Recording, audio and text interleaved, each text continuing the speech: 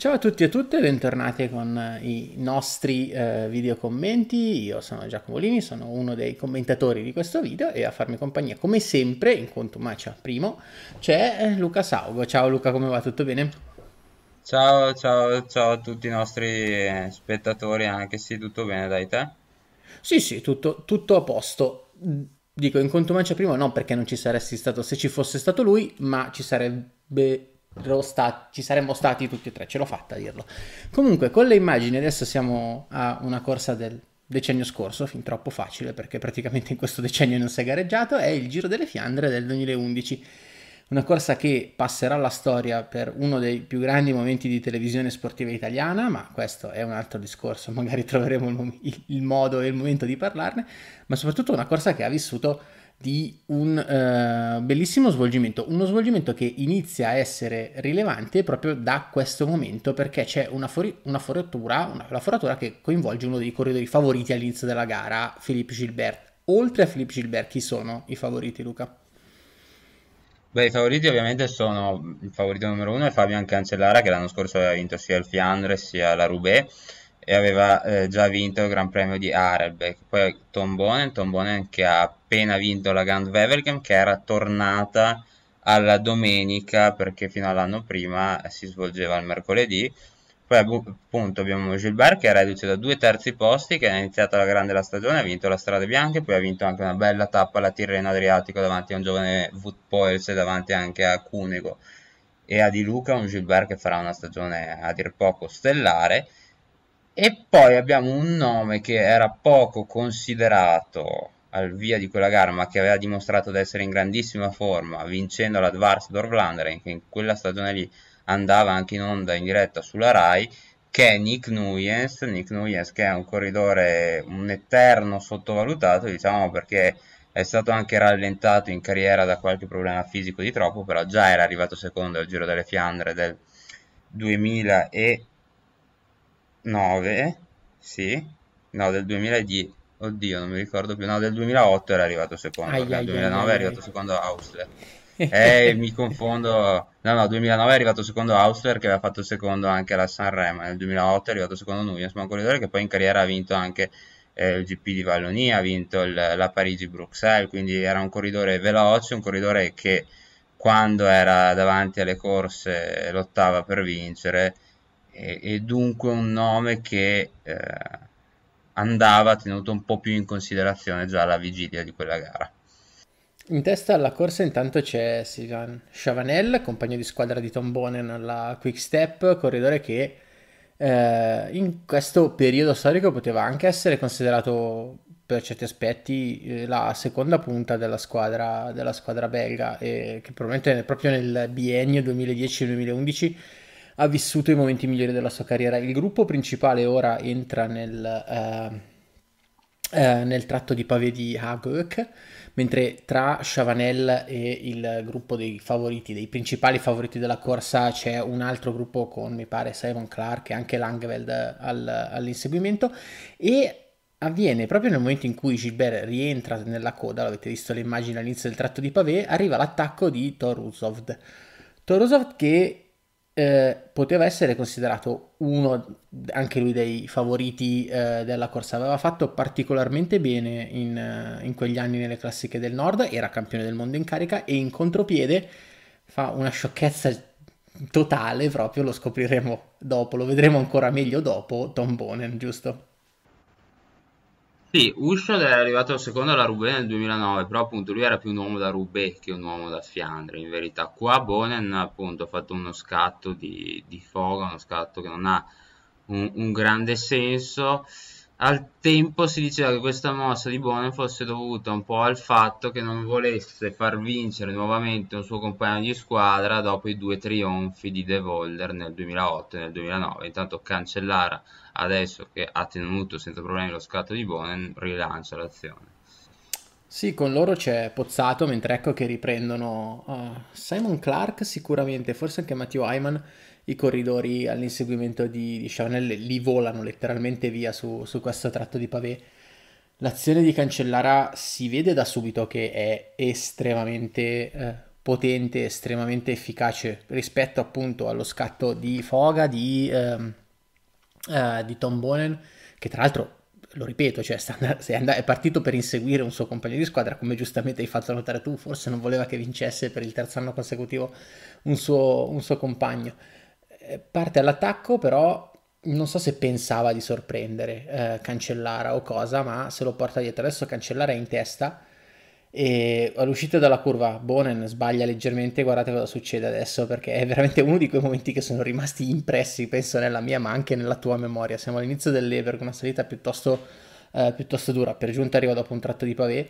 Eh, Bonen ha questi 3, 4, 5 metri da chiudere su Cancellara Beh, eh, noi ricordiamo Cancellara, l'avevamo visto vincere a Daryl Beck, se non sbaglio, nel 2010, scattando addirittura in pianura e scrollandosi di, di ruota Bonen in pianura. In quel biennio lì era veramente un... era il suo apice, era il più forte Cancellara della carriera e guarda con che facilità si sta levando tutti quanti di ruota. Qui sì, chiaro, comunque un tratto in salita è un tratto più favorevole a Cancellara che non a Bonen, però non è che sia un salitone questo, ma lui ha veramente una forza, ha fatto vuoto, cioè è andato, guarda quanto, quanto gli ha già preso gli inseguitori, ha, ha, è su un livello superiore rispetto a tutti gli altri, secondo me è un po' un peccato, adesso sollevo un'altra questione, è un po' un peccato che poi questo Cancellara sia sempre rimasto confinato nel suo orticello, perché insomma le classiche delle Ardenne, per uno che lo ricordiamo due anni prima era andato fortissimo a Mendrisio, potevano essere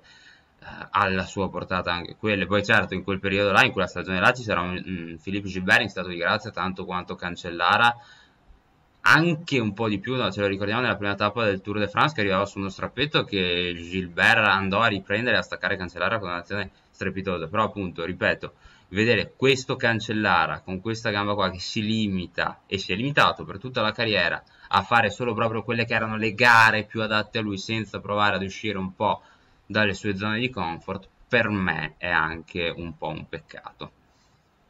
Eh, sì, non hai tutti i torti. Lui eh, si è cimentato proprio nel 2009, mi pare che sia riuscito, oltre che a fare molto bene al mondiale, ad andare molto forte a Mendrese, un mondiale molto duro, eh, era riuscito anche a vincere, mi pare, il Giro di Svizzera, chiaro con un percorso particolare che lo eh, facilitava. Comunque parlavamo di un corridore 28enne che aveva raggiunto la maturazione fisica, era un cronoman eccezionale, questo lo è stato per tutta la sua carriera, di fatto fino all'ultimo giorno della sua carriera quando ha vinto le Olimpiadi. Um, era un cronoman eccezionale, dicevo, ma uh, aveva mostrato anche di avere una certa tenuta in salita, non era il miglior scalatore del mondo, chiaramente doveva difendersi, in quelle occasioni si era difeso piuttosto bene, tanto da riuscire poi a vincere il Tour de Suisse. Eh, poteva per certi versi essere l'apertura verso qualcosa di eh, nuovo, poi non è stato così, eh, se non per quello che riusciva a insinuarsi nel calendario di Cancellara, un calendario molto, eh, molto strano, mai partecipato mi pare alla, eh, alla due giorni d'apertura con Kurn Bruxelles Kurn e Omlopet Newsblad. La Sanremo la faceva perché sì. Uh, la Strade Bianche invece era una corsa che evidentemente gli interessava, infatti l'ha vinta tre volte. La Strade Bianche è una corsa dal dislivello chiaramente molto più pronunciato rispetto a queste classiche del nord, dove oltre a corridori, eh, diciamo così, da pavé, da classiche delle pietre, riescono a primeggiare anche corridori che vanno forti eh, che vanno forte nelle, nelle classiche delle, delle, Ardenne, un pochino più collinari. E chiaramente avendo vinto, vinto tre volte fa effettivamente pensare che potesse essere così eh, per Cancellara. E lui neanche la Grand Weber che mi aveva considerato molto al, al tempo. Intanto stavo vedendo i nomi dei corridori che, che sono con Bonen, avevo visto che c'era un Greg Van Avermaet, un Greg Van Avermaet che dopo un paio di stagioni difficili lui era esploso molto giovane, a 23 anni, alla Vuelta del... beh, molto giovane, per gli standard attuali non molto giovane, ma per l'epoca sì, dai, alla Vuelta del, del 2008 vincendo una tappa, vincendo la maglia degli scalatori. Poi aveva fatto un biennio un po' deludente, quest'anno nel 2011 era passato alla, alla BMC, farà una bella stagione, farà un bel Fiandre, ha fatto una bella Sanremo, farà una bella Liegi, vincerà la Parigi Tours, poi c'è un Leukemans che era in palla già, già a inizio stagione, però è un corridore che insomma si piazza sempre, però vince poco. C'è Pippo Bozzato che non farà una stagione particolarmente strepitosa, c'è Langeveld che invece ha vinto la, l'Omlop et Volk, che all'epoca era ancora et Volk mi sa, o forse era proprio per il primo anno et Newsblad, a, a febbraio e poi mi sa che c'è anche Fleccia lì in maglia Sky. Forse era uh, Boissonaghen il corridore in maglia Sky, potrei Ah, sbagliarmi. ma- Vabbè, eh, tornando un attimo su, eh, su Cancellara, abbiamo infatti eh, zero partenze sia al Giro di Lombardia che alla Liegi-Bastogne-Liegi in carriera. È, è un peccato perché chiaramente avrebbe potuto ampliare un pochino di più eh, i, i suoi orizzonti su corse più eh, variegate. D'altra parte, con tutto quello che ha ottenuto nelle corse in cui ha puntato, e non ha puntato già da eh, giovanissimo al, al- al- al- Giro delle Fiandre, ha fatto bene in un'edizione nel, nel 2006, ma in quell'anno volava, aveva vinto, la, aveva vinto anche la, la Parigi-Roubaix quell'anno, poi per un po' di anni ha faticato fino al 2010, comunque parlavamo già di un corridore pienamente maturo a 29 anni quando fece quell'azione clamorosa sul, sul muro di, di Grammont, sul Moor per eh, levarsi di ruota eh, Tom Bonen. Questo è un percorso comunque del Giro delle Fiandre che, eh, mentre Cancellara quasi va a eh, centrare una, una motocicletta, questo è un percorso del Giro delle Fiandre, dicevo, che è caratterizzato dal fatto che è diverso da quello odierno. Questo è il percorso, diciamo così, classico. La corsa si concludeva a Ni- Ninove o Merbeche, a seconda di quale si consideri la municipalità. Poco importante. Il finale era caratterizzato dalla doppietta eh, Moore più eh, Bosberg, che adesso è proprio quella caratteristica della Omlopet Newsblad. Sì, era un percorso, è stato l'ultimo anno questo col percorso classico, come l'hai definito tu.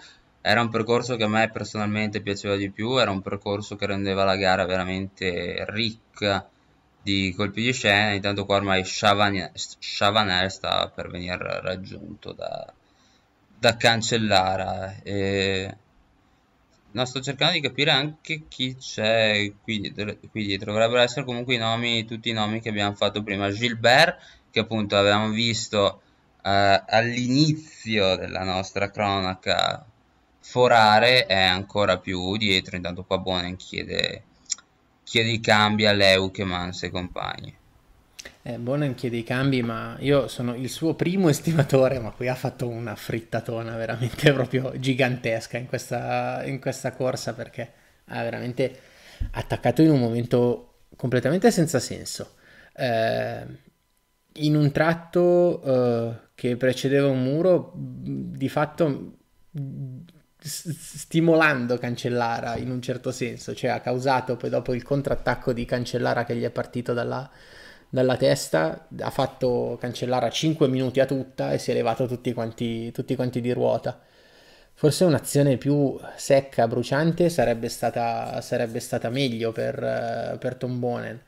Però c'è da dire che la mossa tattica che sta proprio alla base della sua azione è insensata perché il buon Chavanel che si trovava in, eh, in testa alla corsa con un minuto di vantaggio al momento dell'attacco di Torusov è stato ripreso nel giro di pochi chilometri da Cancellara e tutto perché? Perché Bonen ha acceso la, la miccia, solo che poi dopo quando è scoppiata lui si è trovato a non essere sufficientemente distante ed è stato letteralmente investito dall'onda d'urto della Sì, mazzata che tra ha credo. Cancellara. Prego.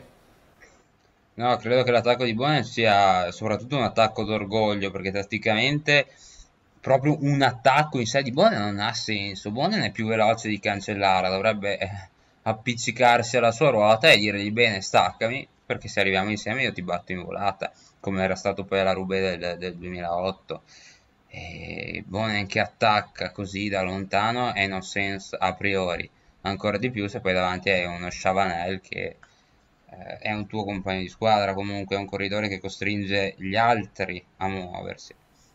Sì, una, una cosa che vorrei aggiungere, forse anche dal punto di vista del contesto storico, anche se vabbè, si parla di eh, dieci anni fa circa, eh, è rilevante. L'anno prima Bonen da Cancellara aveva preso due mazzate veramente notevoli sia al Fiandre che alla Roubaix. Al Fiandre eh, aveva messo la corsa sull'uno contro uno, mentre ora effettivamente Cancellara si è riportato su Chavanel. Dicevo, aveva messo la corsa sull'uno contro uno e poi era stato staccato, demolito sul, nel, nel punto chiave della corsa e eh, alla Roubaix eh, Cancellara gli era scappato e non lo aveva più visto. Dietro intanto stanno, stanno richiudendo, stanno ricucendo sul gruppo, sul gruppo di, di Bon sotto l'azione di Gilbert che è rimasto tagliato fuori da quell'attacco precedente probabilmente proprio a causa della, della foratura. Sono sicuro che considerando le gambe che dimostrerà in questa giornata, in questa stagione, eh, avrebbe avuto le energie per, eh, per, stare con, per provare almeno a stare con il primo attacco, poi con Cancellara non si sa, non, questo non ci, è dato, non ci è dato sapere.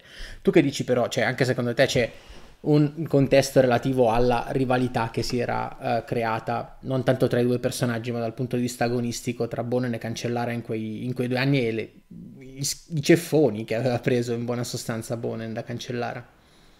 Sì, no, come hai detto appunto è stata soprattutto una mossa poco ragionata e molto d'orgoglio. Gilbert si è portato per prima ruota dei 6, qui dei 6 con Bonen, con subito dietro il buon Nick Nuyens, che lo vediamo lì in maglia Saxo Bank. Per quanto concerne invece l'azione di, di Cancellara, cosa sarebbe successo se eh, Gilbert non avesse forato? Sarebbe beh, sicuramente una sliding doors interessante perché Cancellara ha staccato Bonen su una salita eh, non in pavé, su una salita breve, non particolarmente dura, sicuramente un terreno più adatto comunque a Gilbert che non a Bonen. L'avesse staccato su un muro di, di pavé, dici va, magari nemmeno Gilbert l'avrebbe tenuto, però io penso che lì Gilbert eh, avrebbe potuto, quello di Gilbert lì, che è un Gilbert in assoluto stato di grazia, avrebbe potuto seguire e cancellare e chiaramente l'azione sarebbe stata avrebbe avuto un, un effetto differente, ecco, probabilmente sarebbero andati al traguardo. Intanto nelle prime posizioni vediamo anche Thomas Vauclair con la maglia di campione di Francia. Ma quello è stato l'anno d'oro di Thomas Vauclair. Il 2011-2012 sono stati anni in cui era effettivamente molto competitivo in, un po' in tutte le corse a cui partecipava. Una mini versione di quello che abbiamo visto ad esempio l'anno scorso da parte di Julian alla Filippa. Dietro inizia un, adesso un grosso tira e molla nei corridori del, del, gruppo inseguitore. È un gruppo, come vedete, piuttosto nutrito per essere la corsa a 30 km dal, dalla fine del, del, Giro delle Fiandre, cioè non è, eh, non è una circostanza di poco conto. Mentre davanti io faccio notare questo, questo dettaglio, cioè se Bonen non è stato il l'uomo squadra ideale nel uh, accodarsi uh, all'azione di Usoft e non rilanciare, ma ha effettivamente fatto un altro scatto. Davanti Chavanel si è visto riprendere da, da cancellare e penso che gli debba aver detto qualcosa del tipo senti se vuoi mi porti tu al traguardo scordati che io ti do una mano perché ho visto cosa è successo l'anno scorso me lo ricordo benissimo e non ho assolutamente intenzione di cascarci anch'io sì, poi Chavanel aveva anche tantissimi chilometri di, di fuga nelle gambe e nessuno, nessuno in, que- in questo momento della gara pensava che Chavanel potesse tenere le ruote di, di Cancellara tanto a lungo, cioè tutti quanti pensavano al primo muro disponibile si leva di ruota anche Chavanel e va al traguardo, appunto perché avevamo negli occhi l'azione devastante del 2010 e di quel duello spalla a spalla con Bonen in cui Cancellara letteralmente demolì Tommeke. Ma io per giunta ricordo una, uh, un video di questa corsa che avevo visto qualche, qualche tempo fa, forse proprio quando stavamo parlando di quali corse seguire.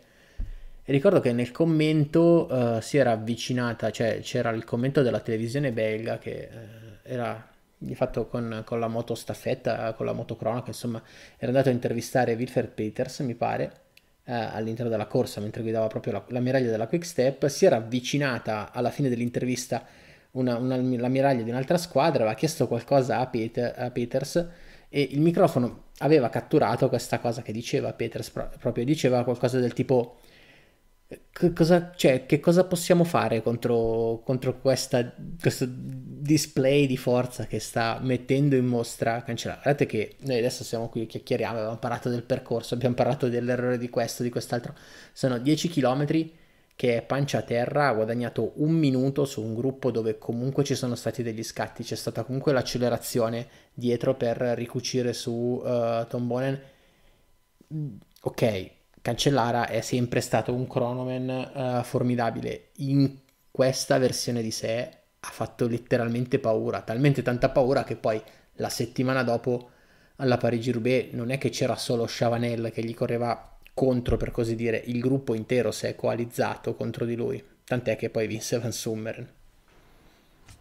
Sì, eh, sta bevendo tanto però Cancellara, non so se hai notato, ha preso una borraccia, l'ha svuotata e l'ha subito eh, cambiata. Qui abbiamo anche la BMC a blocco, la BMC sarà un fattore più avanti in questa gara, anche se poi non si giocheranno mai la vittoria, però con i loro uomini, loro hanno Ballana, hanno Incapi, hanno appunto Van Avermaet, quindi sono una squadra veramente ricca di outsider.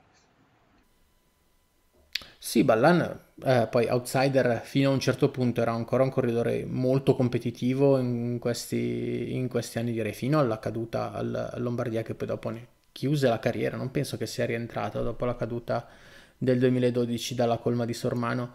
Comunque era stato sempre molto competitivo al nord, tant'è che appunto nella settimana successiva alla Roubaix fu uno di quelli che effettivamente corse contro eh, Fabian Cancellara.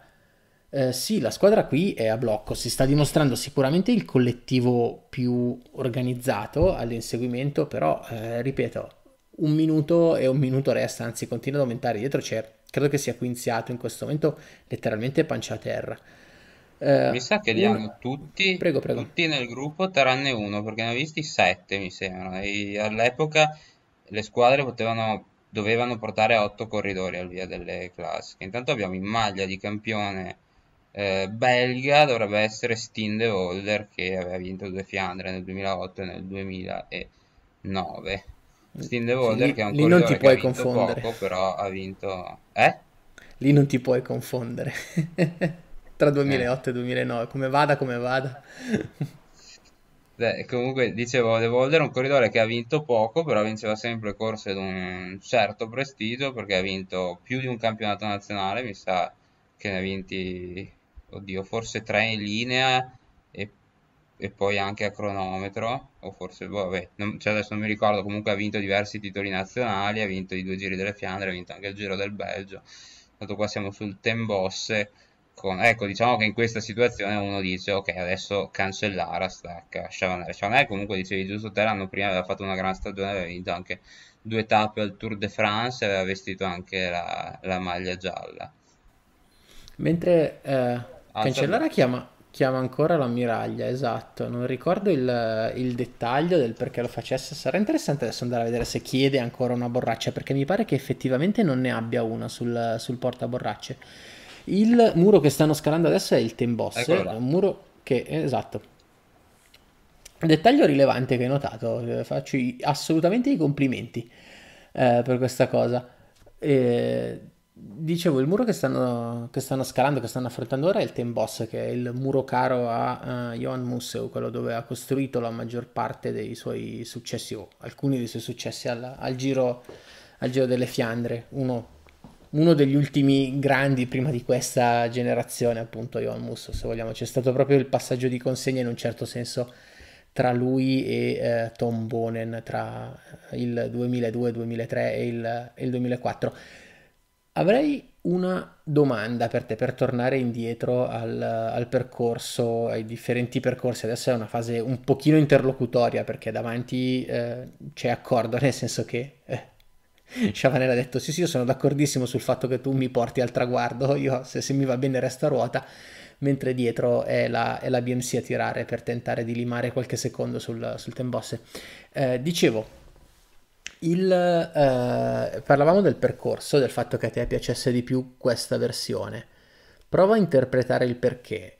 Il Giro delle Fiandre ora come ora è forse più duro come corsa, ma è una corsa un pochino più chiusa, nel senso che si sa qual è lo snodo chiave eh, della corsa. In questa versione c'era chiaramente il muro di Grammon nel finale, ma si potevano creare delle azioni, si poteva creare tantissima selezione già da tanti chilometri prima.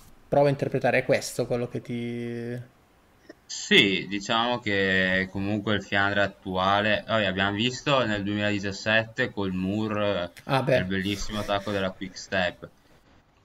Però ecco, prima, prima che introducessero il muro era proprio un po' banale, non succedeva mai niente fino al- all'accoppiata finale col vecchio Quaremont. Che, come che si tra chiama l'altro l'altro è che non mi viene il mai? Paterberg. È il Paterberg. E, e comunque di solito prima del Koppenberg non succede mai granché. Oggettivamente non abbiamo visto dei bei Fiandre, a parte questo qui del 2017 in epoca recente. Eh, anzi, molto spesso si sono addirittura decisi in tratti in asfalto, sia quello del 2015 che quello del 2018 con l'attacco di Terpstra che va a riprendere a staccare Nibali. L'ultimo comunque, eh, prima del- dell'ultimo passaggio sul Quaremont c'era stata solo la rimonta di Van Der Poel da segnalare, invece questi erano Fiandre dove qualsiasi punto, sai, poteva essere quello decisivo.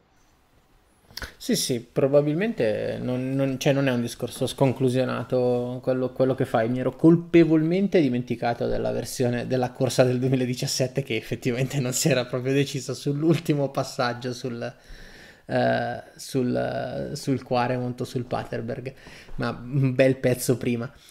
In testa c'è Thomas De Gendt. Il il 2011, un anno prima della sua cavalcata eh, per andare a vincere sullo Stelvio, c'è Thomas De Gendt che lavora a beneficio di eh, Bjorn Leukemans.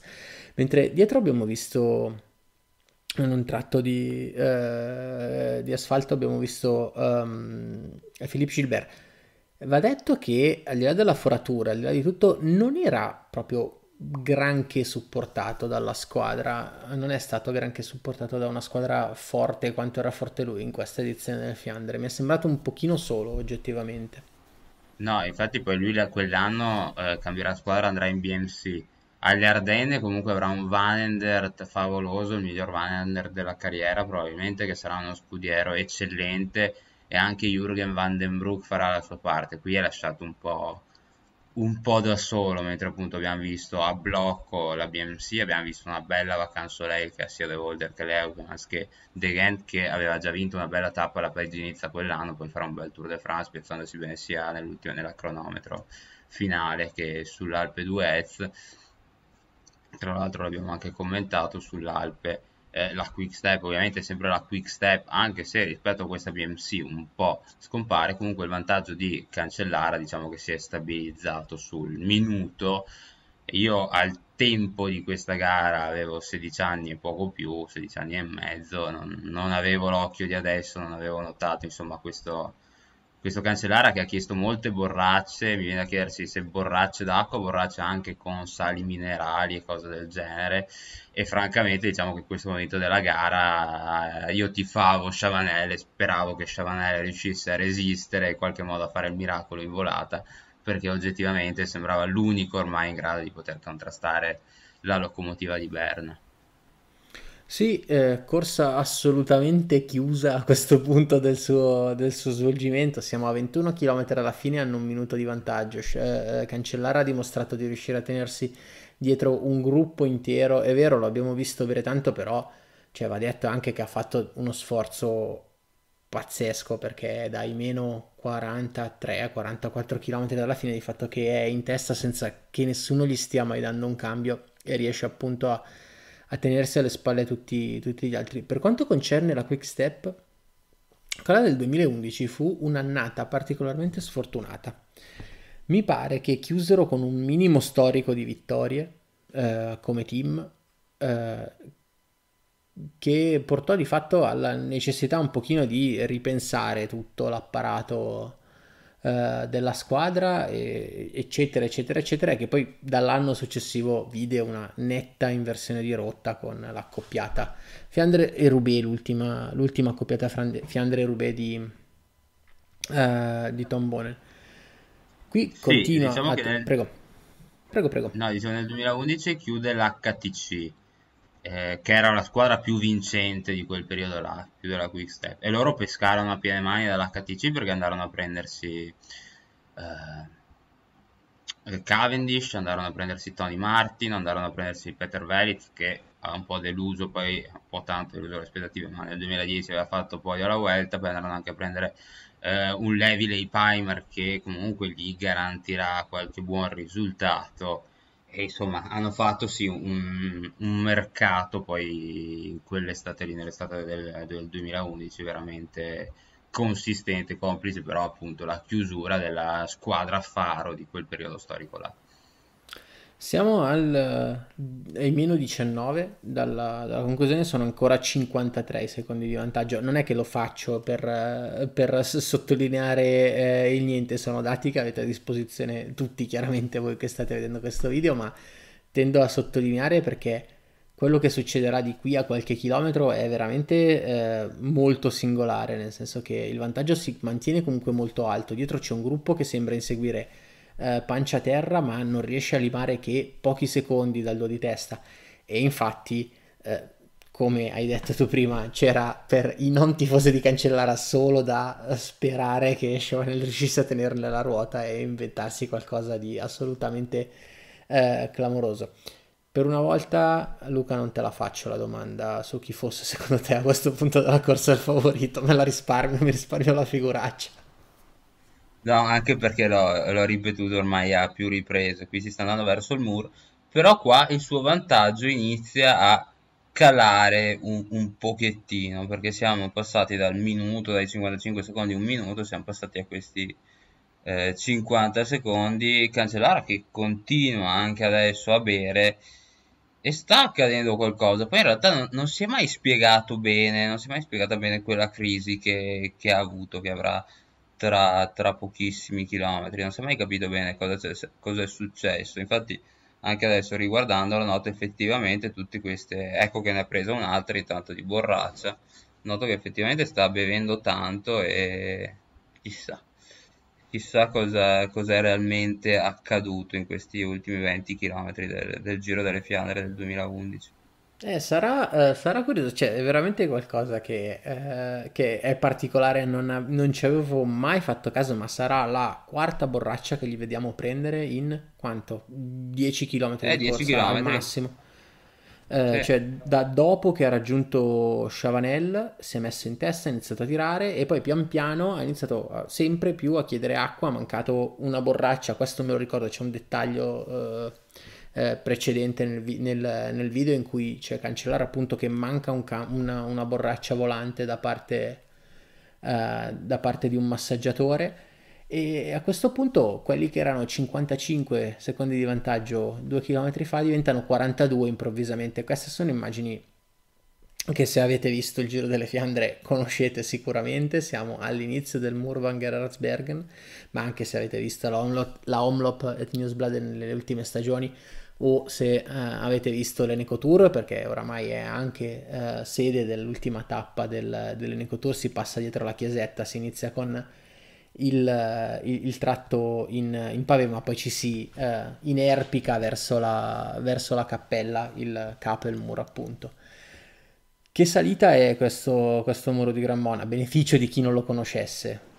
Beh, è, uno dei due muri più duri che che le Fiandre possono offrire insieme al Koppenberg e a livello scenografico è il più bello di tutti, perché comunque sì, la chiesa là in cima, poi guarda che trionfo di pubblico ai lati, ancora non siamo entrati comunque ne- nel punto clou e qui Cancellara sta perdendo veramente tantissimo, qui sta andando molto piano, è, è quasi fermo. Secondo me a lui gli è anche andata bene che lo riprenderanno praticamente allo scollinamento, perché se l'avessero ripreso qua probabilmente eh, si sarebbe staccato definitivamente, perché qui è veramente in crisi. Intanto vediamo Nuyens qui in maglia saxo che sta arrivando nelle prime posizioni, c'è Gilbert in maglia Rabobank, credo sia sempre il solito Langeveld che abbiamo detto aveva fatto un ottimo inizio di stagione e qui ormai Cancellara è, è- è in crisi, è in crisi e anche Chavanel è un po' perplesso perché adesso cosa fai? Eh, continui a restare a ruota, provi a scattare, a partire in contropiede. Eh, è una situazione complessa anche per lui ed è una situazione veramente inaspettata, cioè ma eh, due chilometri prima non- nessuno avrebbe pensato il gruppo va a riprendere Cancellara, cioè sembrava davvero finita. Sì, sì, sembrava, sembrava finita la corsa, cioè poi nel senso poteva succedere, le corse del nord può sempre succedere eh, di tutto in termini di inconvenienti di natura tecnica, eccetera, eccetera, eccetera, ma qui eh, si pensava che questa potesse essere veramente una corsa andata per, per la vittoria.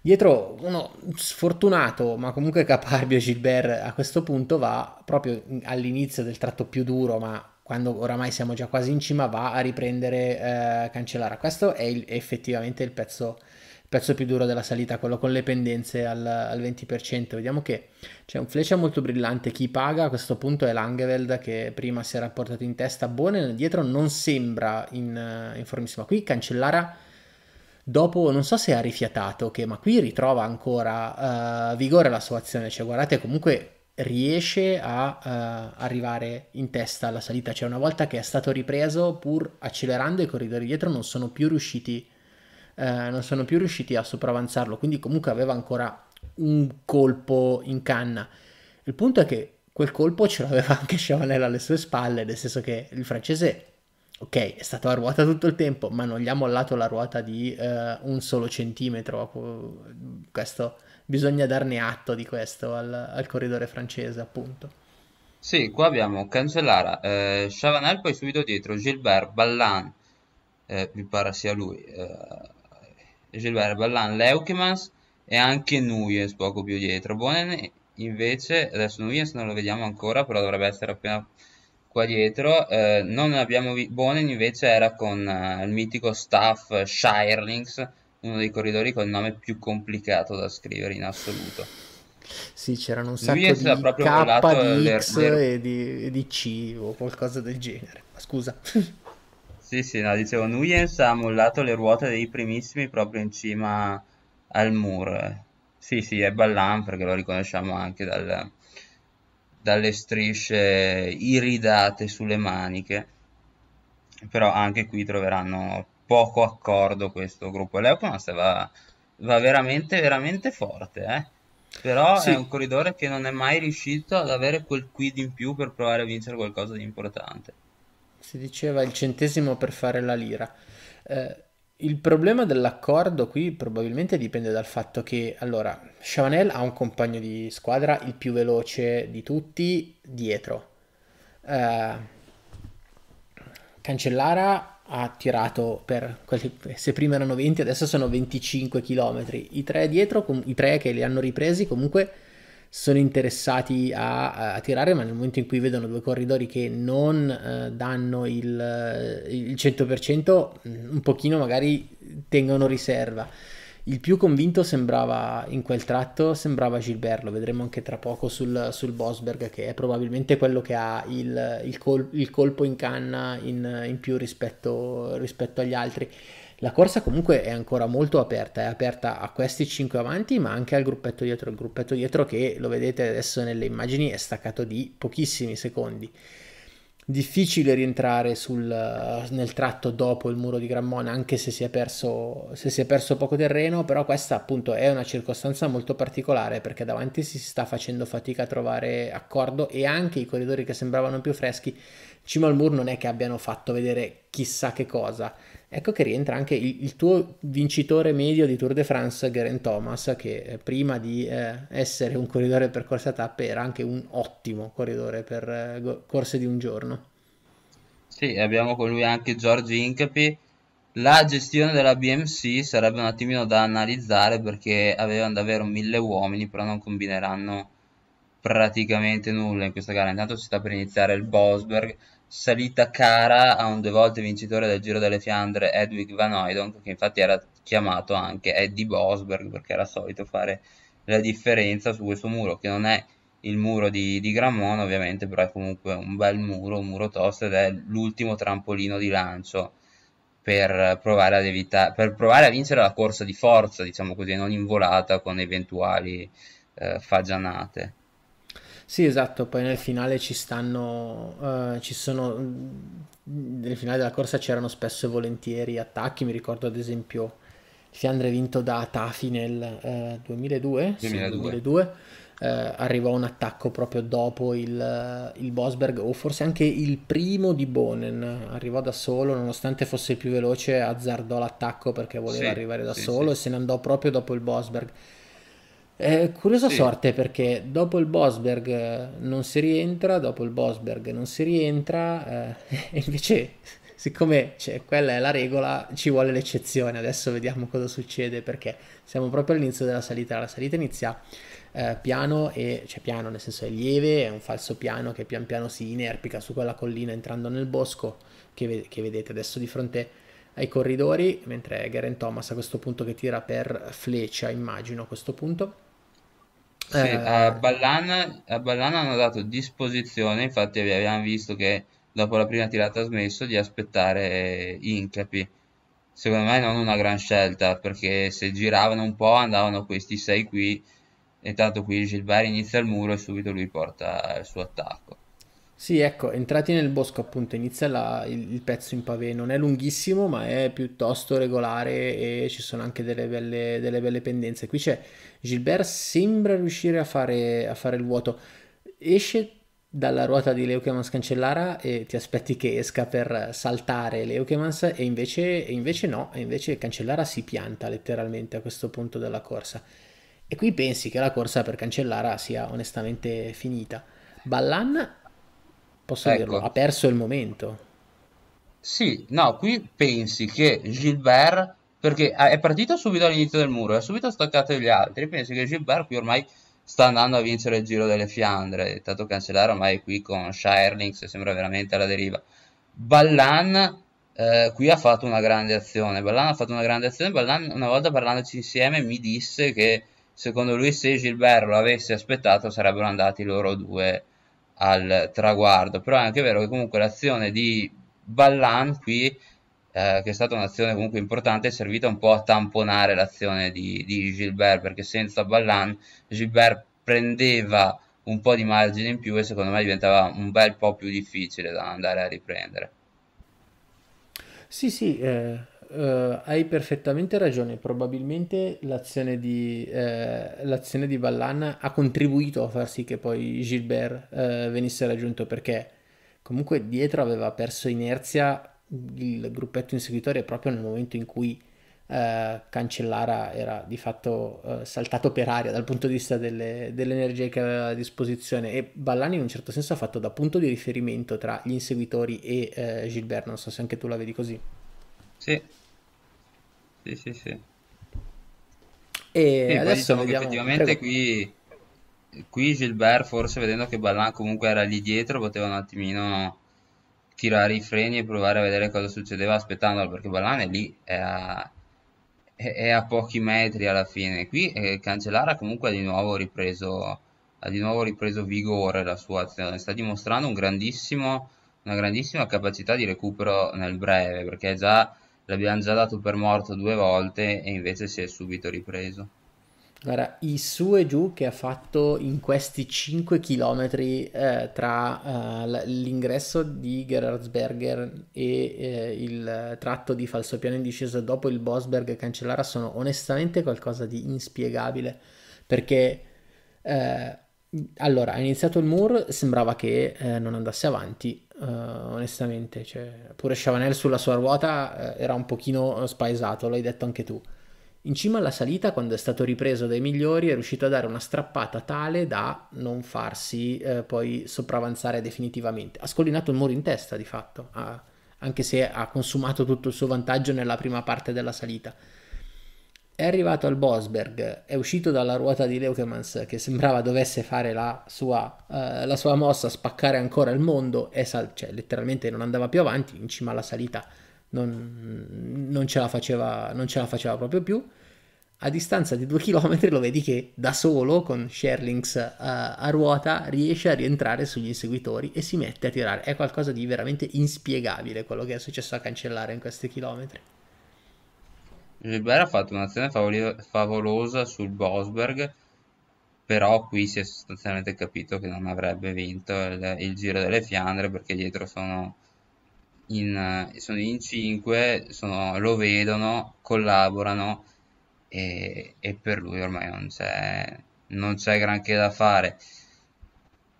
Chiaro, eh, lì viene da chiedersi cosa avrebbe potuto fare più di così Gilbert, perché comunque Gilbert se riusciva a portare via quel gruppetto lì con Cancellara, Leukemans, eh, Ballan e Chavanel, poteva tranquillamente, anzi sarebbe stato il favorito in caso di sprint, se la sarebbero giocata lui e, e Cancellara, però eh, Cancellara era più stanco Invece qui poi gli dirà male che oltre a questi sta arrivando un altro gruppo che rientra da dietro e a quel punto per lui sarà veramente la fine.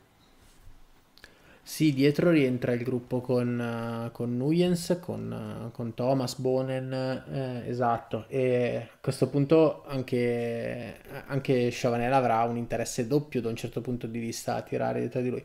Però te lo dico io cosa poteva fare per, eh, perché gli andasse, gli andasse tutto bene a, a Gilbert. Poteva non forare i meno 50, meno Vabbè, 45 quando, quando ci siamo collegati. Quello sicuramente, quello sicuramente sarebbe stata eh, la sua winning condition, chiamiamola così, perché avrebbe seguito eh, Cancellara molto probabilmente, anche vedendo che gamba aveva e, e sarebbe riuscito a, a giocarsi la, la gara col solo svizzero, visti gli alti e bassi di Cancellara, probabilmente l'avrebbe portato a casa. Così poi Tra lui è stato anche un po'... Dimmi, dimmi.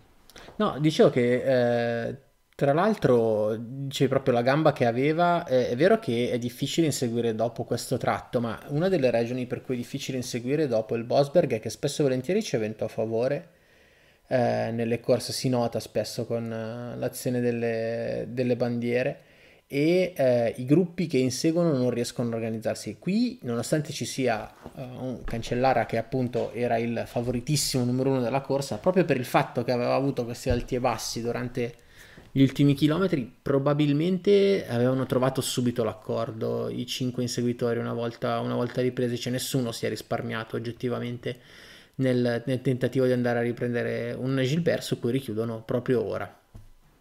Sì, poi all'epoca non c'era ancora, all'epoca, neanche dieci anni fa, comunque in quel periodo lì non c'era ancora questa mentalità che vediamo adesso dove nessuno vuole dare un cambio, dove tutti hanno paura di essere quelli che lavorano di più e di avere a ruota gli altri che fanno i furbi. Qua si è detto, com'è che possiamo vincere sta corsa?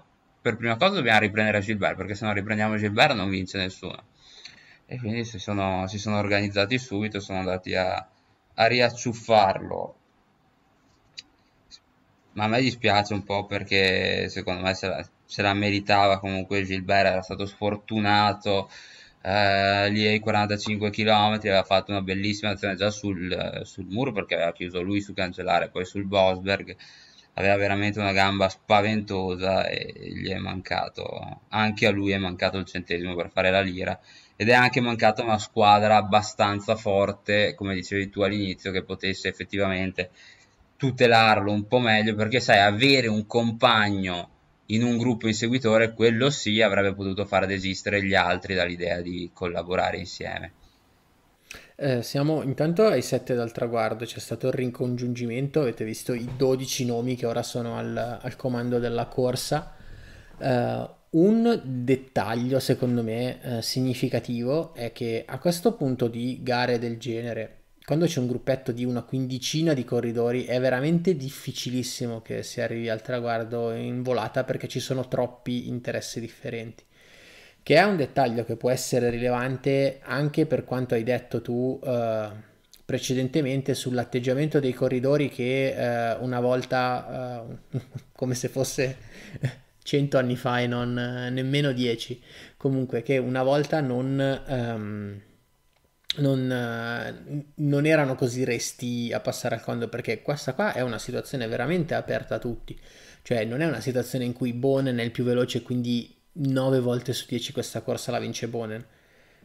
Assolutamente no, mentre qui c'è un attacco deciso di Ballan che è arrivato, però Gilbert ancora una volta ha le gambe per andare a chiudere sul, sull'italiano. Questa sarebbe stata un'azione molto interessante se Gilbert non avesse mangiato subito la foglia. Sì, si sono fatti un po' i dispettucci perché appunto come abbiamo detto Ballan comunque sul Bosberg è stato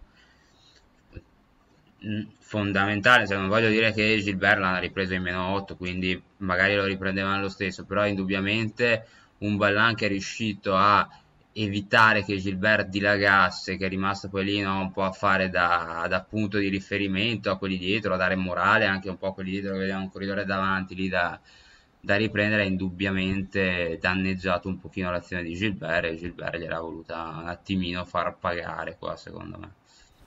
Dettaglio, uh, non so fino a che punto di eh, rilevante, eh, ma chi è scomparso dalle posizioni di testa della corsa comunque a questo punto è quel volpone di Fabian Cancellara che ok, starà avendo tutti i suoi alti e bassi, ma è pur sempre il corridore con la sparata in 3 km per, per arrivare al traguardo e portarsela comunque a casa la corsa, se riesce a rifiatare un attimo.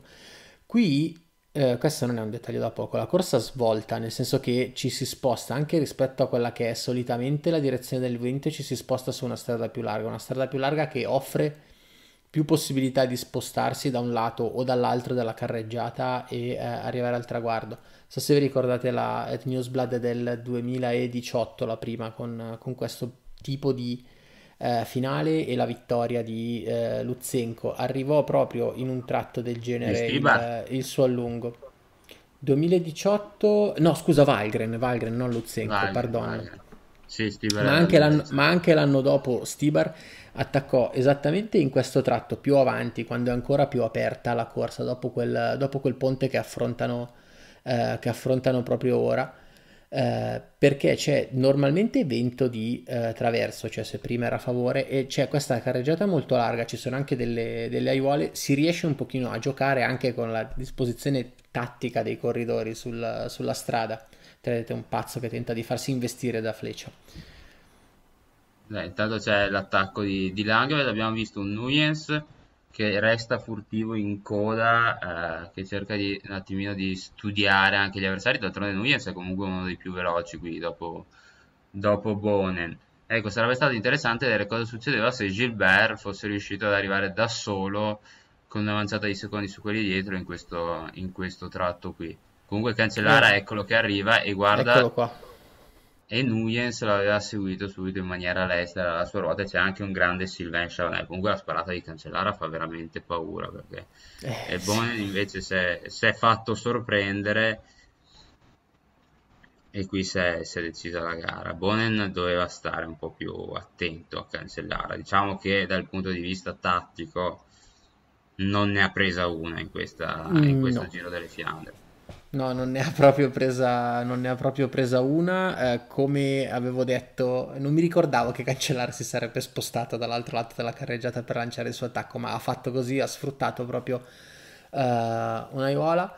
Eh, Bonen ha, cioè, aveva un corridore da curare. Di fatto, non so se avete notato anche nei chilometri precedenti, ma era sempre stato uh, Chavanel della Quick Step a chiudere sugli attaccanti, cioè il primo a riportarsi sotto quando era un quando doveva essere un quick step a chiudere, Bonen di fatto aveva...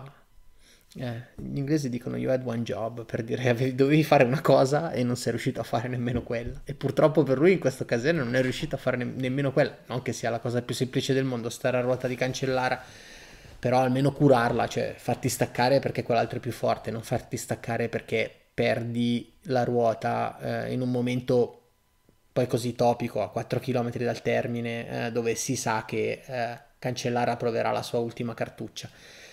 E adesso gli altri due fiutano che Cancellara comunque ha tirato tanto e tanto stanco a questi su e giù, capiscono che c'è l'occasione di andare a vincere il Giro delle Fiandre e improvvisamente anche Chavanel e Nuyens sono interessati a dargli cambi. Sì, intanto dietro ha, ha combinato, ha combinato la, la frittata, la BMC, perché due uomini e, e, nessuno che sia stato abbastanza lesto da, da inserirsi in questo pelotoncino, soprattutto c'è da dire che la, la corsa di Incapi a me sembra abbastanza incomprensibile onestamente, cioè è sempre rimasto lì e non ha fatto niente. Anche Ballan prima lo ha, lo ha aspettato, si è fermato ad aspettarlo, ma conti fatti perché? Cioè Ballan era in una situazione molto più comoda prima piuttosto che col ricongiungimento che ha riportato dentro Incapi, però ha riportato dentro altri 5-6 corridori. Sì, hai perfettamente ragione. Io di, di Incapi in questa corsa mi ero completamente dimenticato. Cioè, mi ricordo bene o male di tutti gli altri personaggi che sono arrivati in questo finale. L'unico che ha effettivamente avuto una corsa anonima, c'è anche adesso Flecia per dire lì dietro, eh, sta attaccando, sta provando l'ultimo tentativo per riportarsi sul, sul, terze, sul terzetto che comanda la corsa ma l'unico di cui proprio non ricordavo la presenza era, era Giorgin Capi, cioè non che sia una critica, cioè nel senso si è mosso male in corsa, uh, sta, più che altro è stato anonimo, ecco, non è che si è mosso male, uh, peggio per lui e, e, per la sua squadra, comunque Ballan aveva provato in precedenza, ha fatto anche una bella, ha provato una bella stoccata in meno, in meno 7, forse un po' lungo, ma è stato Gilbert lì a, a chiudere. Adesso arriviamo sul, sul, rettilineo, sul rettilineo finale, volata lunga e leggera salita, te la lascio commentare. Sì, no, qua intanto parte Bonen che fa e farà un'azione strepitosa, però eh, partito in ritardo, in ritardo di un chilometro perché poteva provare un attimino a riportarsi sotto. Certo è che lui e Chavanel si sono sostanzialmente pestati in piedi per tutto il giorno. Qui Cancellara lancia lo sprint, però qua si è piantato sul più bello, si è piantato proprio agli ultimi 50 metri, gli ultimi 75 metri, si è piantato, infatti lo passerà anche Chavanel, però è una vittoria comunque abbastanza in scioltezza per, per Nuyen. Se fossero stati altri 30-40 metri più, forse Chavanel poteva anche insidiarlo. Però alla fine diciamo che Nuyens ha fatto tutto bene, ha preso la ruota di, di Cancellara allo sprint, lo ha saltato al momento giusto ed è andato a vincersi comunque meritatamente un Giro delle Fiandre in cui lui è sempre stato tra i primi pur rimanendo abbastanza nascosto fino al momento clou. Te lo chiedo. Ma chi beep è Nick Nuyens? Lo so che lo hai detto all'inizio di, di sta telegramma, ma io vivo per, no, per ricordare questo grandissimo momento con Alessandra De Stefano che all'arrivo si lascia scappare una battuta a microfono aperto, che è veramente qualcosa di clamoroso e che metterò come sigla di questa, eh, di, di, questa, di, questa nostra, eh, di questo nostro video, quindi state collegati assolutamente fino alla fine perché è importantissimo. Chi beep è Nick Nuyens? Sì, diciamo che lei probabilmente pensava che non, di non essere microfonata in quel momento, però appunto, come abbiamo detto, Nuyen sul corridore che ha vinto, aveva vinto la Dvarsdorf Lander nella settimana prima in carriera, ha vinto un'altra eh, classica molto importante, anche se adesso un po' decaduta, quella è la Parigi-Bruxelles, tra l'altro battendo un giovanissimo Philippe Gilbert, eh, ha vinto Let Volk, ha vinto la Curne Bruxelles Curne, ha vinto più volte il Gran Premio di Vallonia. Eh, dopo questo 2011 purtroppo avrà tanti problemi fisici, non riuscirà più a prendere parte al Giro delle Fiandre, il Giro delle Fiandre in cui appunto aveva già fatto secondo nel 2008, settimo nel 2007 e l'aveva vinto tra gli under 23 peraltro. Uno dei pochi corridori a riuscire a vincere il Fiandre sia tra i pro che tra gli under 23 meglio come corridore che come general manager, dai, possiamo dirlo senza paura di, di sbagliare. Non so, chiediamo a Vote Van Art, ma sono abbastanza sicuro che sia d'accordo con noi. Cancellare è stremato, eh.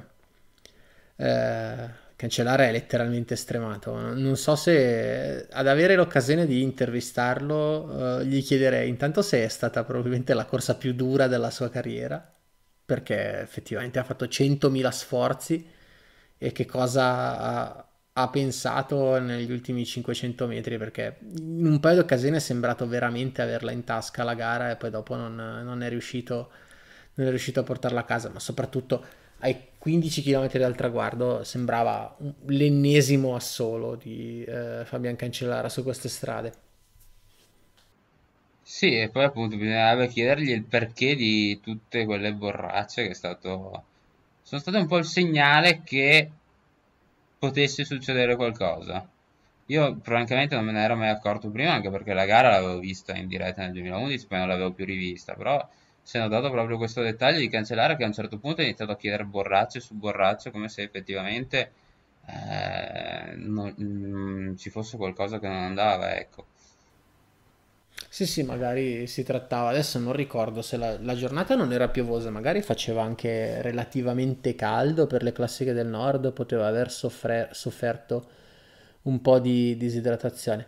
Eh, domanda da un milione di euro, cioè se fossi stato Gilbert non avrei forato ai meno 45. Io rispondo per la parte facile, se tu fossi stato Cancellara cosa avresti fatto di diverso?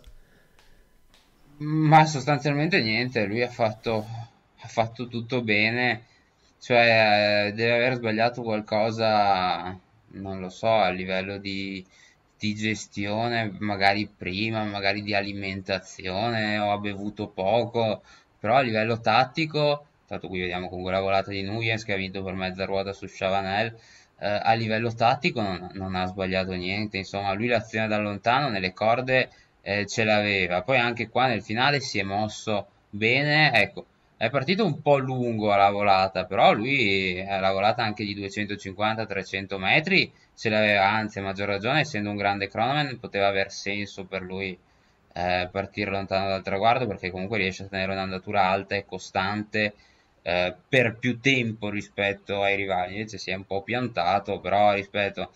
Eh, non possiamo anche metterci qua a questionare la, la volata di Cancellara. Lui ha fatto quel che doveva fare due volte perché ha, ha fatto bene eh, a partire a 40 km dal traguardo. Tra l'altro, quando l'uomo più pericoloso per lui, che comunque era Gilbert, che era il più in forma, insieme a lui aveva avuto un problema meccanico, è partito al momento giusto, ha portato via il tentativo giusto al, nel finale, e però è, è evidentemente deve essere andato storto qualcosa prima. Intanto qua vediamo Bjarne Ries che fino all'anno prima era il direttore sportivo, il team manager, anzi Cancellara, Cancellara che era andato via dalla Saxo Bank per seguire i fratelli Sherek alla Leopard Trek e lui aveva preso un Nuyens da rilanciare dopo un biennio un po' così. Secondo Fiandre di fila per, uh, per Ries. Ma eh, secondo me un dettaglio sulla, sulla volata di eh, Cancellara. Ha a che fare con il fatto che una volta svoltato per entrare nel rettilineo finale eh, si è girato e ha visto arrivare Tom Bonen che stava facendo quella sparata che tu, che tu hai detto. Ed è vero che Bonen è arrivato a un paio di secondi poi eh, dai, eh, dai primi tre non è arrivato allo stesso tempo. Però se prende la scia perché nessuno alza la velocità davanti eh, se poi sente la scia riesce magari a rifiatare quei 2-3 secondi che sono fondamentali per riuscire a vincere, eh, a vincere effettivamente la corsa. Secondo me è stato anche quello un momento eh, determinante della, del finale, cioè Cancellara che era quello effettivamente con gli strumenti per eh, lasciarsi alle spalle eh, Bonen. Nuyens era disposto a rischiare tutto per tutto e Chavanel sicuramente non, eh, non disdegnava il rientro di un compagno di, un compagno di squadra. Sì, diciamo che magari aveva un po' paura che succedesse quello che è successo all'Amstel dell'anno scorso. Perché sai, se un buon ti arriva da dietro a doppia velocità, eh sì. è un attimo poi che ti salti. Poi lancia la volata. Cioè, sì, era un corridore che, che, da quel punto di vista poteva avere uno sprint alla Mathieu Van Der Poel che arriva lì, anche perché sai, sì, è una volata lunga, però per un attimo comunque prendi la scia degli altri, poi arrivi anche sull'onda del, dell'entusiasmo, del, che, perché stai rimontando e comunque sei quello anche con lo scatto più, più potente. Diciamo che con uno scatto Bonen ti arriva da dietro e ti salta, ti può prendere subito quei 2-3 metri che poi non riesci a rimontarli. Quindi sì, sicuramente l'azione di Bonen ha anche eh, spaventato Cancellara, però nel complesso io francamente a Cancellara eh, delle colpe appunto dal punto di vista tattico non, non riesco a trovargliene. No, ma sono assolutamente d'accordo con te, in realtà era una domanda capziosa la mia. Sai, è una corsa di quella... 250 km, probabilmente quando noi non abbiamo visto, probabilmente in quelle fasi in cui eh, pensiamo non succeda mai nulla, lui deve aver sbagliato qualcosa.